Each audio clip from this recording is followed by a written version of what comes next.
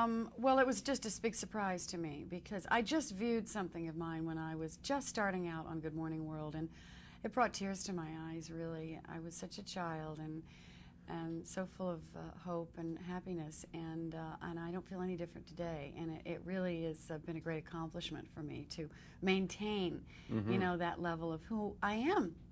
Um, when I first realized, it was a shock to me because I just was looked upon as sort of a fun person, and they put me on Laugh In, and you know, and it just sort of happened, you know, and it wasn't anything that I looked at and I went, ah, now I know who I am. I always knew who I was.